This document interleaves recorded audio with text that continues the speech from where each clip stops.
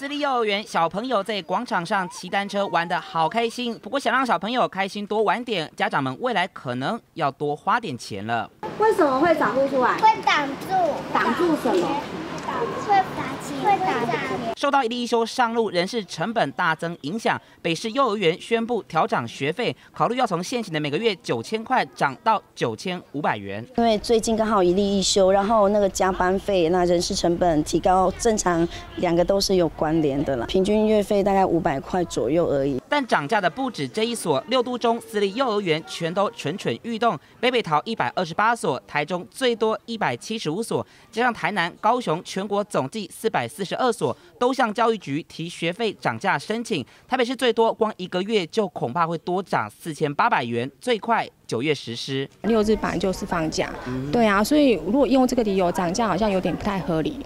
对，而且我两个小孩这样一个月都多支出了九千六，这样好像有点压力太大。那我们教育局在三月、四月份会做一个初步的一个审议，最晚会在我们的五月的时候会发文给各幼儿园知道。教育局坦言，一例一休上路后，周末办活动或是放学延后托育，人事成本的确都增加不少，但涨不涨的成，还是得经过开会讨论后才会定案。解信中午登立台报道。